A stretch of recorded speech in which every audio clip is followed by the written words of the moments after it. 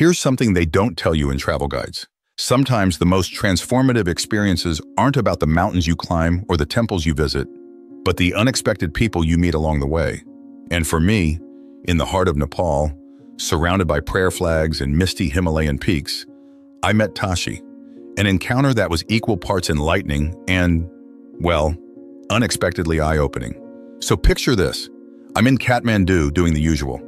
Temple hopping, market browsing, the whole backpacker routine.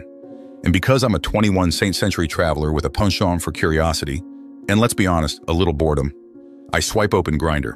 I wasn't expecting much. Maybe some mountain goats or a rogue yak would pop up. But there he was, Tashi, his bio? Life's as unpredictable as a goat on a hillside. Intrigued? You bet I was. We decided to meet up at this little cafe tucked away in one of Kathmandu's bustling alleys. The vibe was cozy, the chai was strong, and the conversation, surprisingly deep for what was initially supposed to be a casual hookup. Tashi wasn't just charming, he was fascinating. He had this vibrant energy, a quick wit, and an openness that was both rare and refreshing.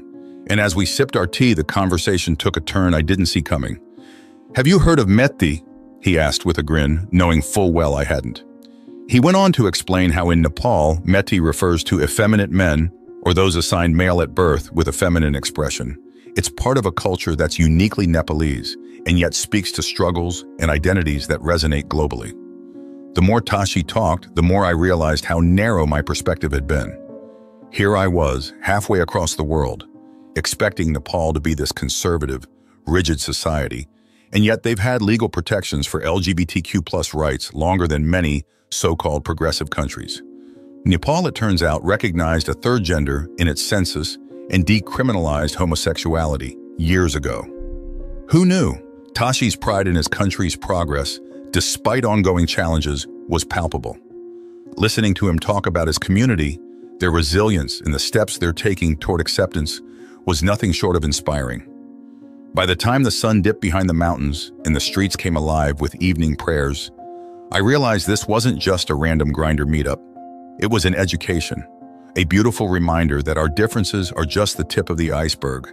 Beneath the surface, our shared humanity is what really connects us.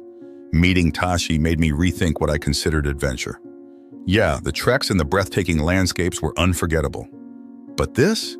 This was different. It was a glimpse into a world I didn't know I needed to see. It was proof that travel isn't just about ticking off bucket list destinations. Sometimes it's about those quiet moments of connection that challenge what you think you know. So yeah, my date with Tashi turned into one of the highlights of my Nepal trip, but not in the way I expected. Instead of just being another story for the group chat, it became a lesson in empathy, acceptance, and the unexpected magic that happens when you step out of your comfort zone. Who knew a casual Grindr swipe in the Himalayas would lead to such a profound experience? But hey, that's the beauty of travel, right? You never know where a simple connection might take you. As I packed up to leave, I found myself feeling a little more open-minded, a little more curious, and a whole lot more appreciative of the diverse, vibrant world we live in. So next time you're traveling, maybe give those dating apps a spin. You might just end up with a story worth telling and some wisdom to take home. Thanks for watching. And if you enjoyed this little adventure, hit that like button and subscribe for more travel tales with a twist. Catch you on the next one.